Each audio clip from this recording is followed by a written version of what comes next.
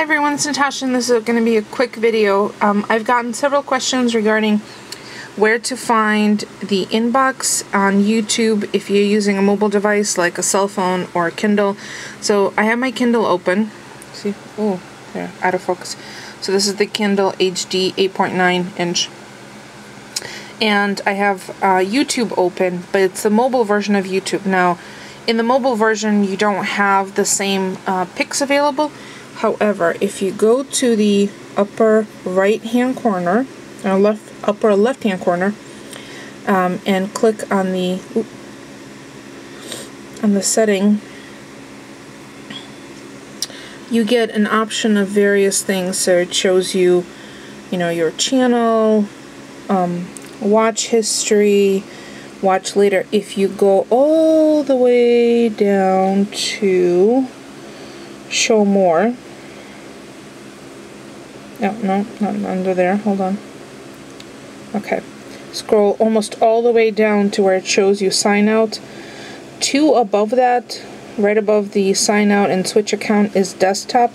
If you click on that, it'll show you the full YouTube version of it.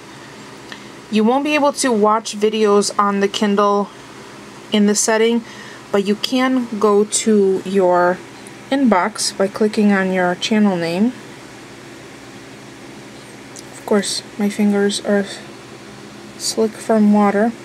And then Video Manager.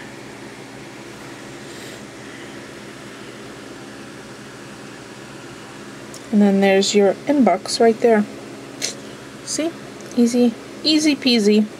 So you're just literally switching between the mobile and the desktop version of YouTube. And once you do that, you can reply to messages, um, see if you have any, you know, see there's all my messages.